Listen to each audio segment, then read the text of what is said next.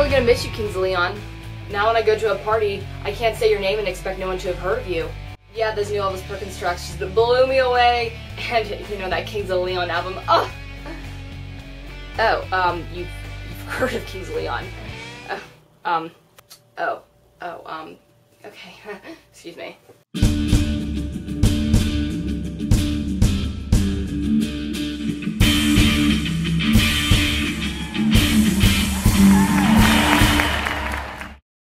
Everybody, I'm Jess Paul of Wrecked Radio, and this week Caleb Followill of Kings of Leon talks the new album Come Around Sundown. Followill revealed that the title of the album came from John Anderson's song Small Town, and that it reflects a theme of the nighttime and cocktails, saying that anything sounds better with cocktails. Justin Bieber even sounds better with cocktail. He even talked about the single Radioactive, saying that he had no idea that it would be the single, and he did not think that it would be very stadium friendly, saying, I mess up on the first verse, I mess up on the second verse, I mean, my voice is off, so I really didn't think the label would want that as the single, but they wanted it first. Also, Caleb said that he hates hipsters. Okay, bye. No, honestly, this was an answer that I had to a question that I posed on the show a long time ago. Caleb told Spin how he regretted the mass popularity and the overexposure when he said, That woman in mom jeans who never let me date her daughter, she likes my music. That's not cool. Do you think the Kings of Leon would have been better off in some smoky bar down south? Or do they deserve to be as exposed as they were? Because they're so fantastic. In an interview with MTV, Caleb talked a little bit about their success, saying, there was never a point in our career where we were like, oh man, I think we should scale it back, otherwise we're going to be popular. And anyone who acts like that, I think they're full of it. No one wants to not succeed in what they do. In video news, you can watch Ms. Zooey Deschanel and Ben Gibbard of the Postal Service and Death Cab for Cutie as they sing the national anthem and God Bless America at a baseball game. I don't know which baseball game, but you know, I'm I'm so focused on the artist that I just I didn't look at that part. Anyways, Ben Gibbard started off the evening singing uh, the national anthem, and Zooey Deschanel did the uh, the inning, some kind of inning. Um, singing God Bless America. Man, I should have checked that.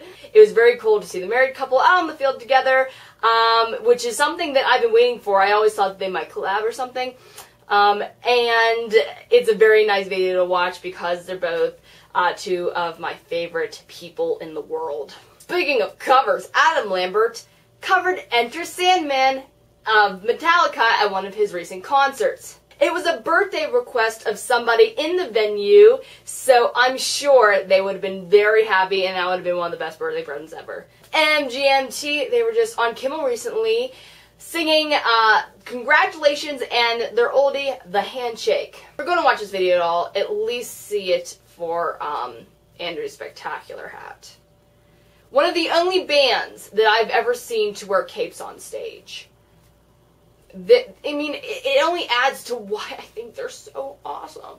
Speaking of MGMT again, there is an upcoming documentary being made on the band. It's a feature by the Blog Attack, and we don't know much about it besides what we see from a trailer, which is them uh, either practicing or recording some of their recent songs off of their album Congratulations. If you go in the Crotch Bar, you can go see how you can win tickets to the VersaEmerge and and Anarbor concert, and you can also see some of their dates. I got a new band to introduce you guys. They are an electro punk band, and they are touring at least East Coast.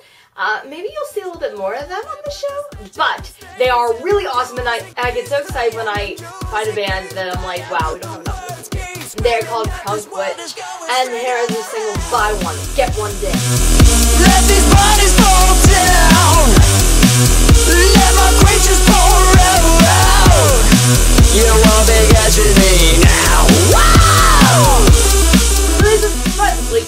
Include Trophy Scars, Darkness, Oh Hell, EP.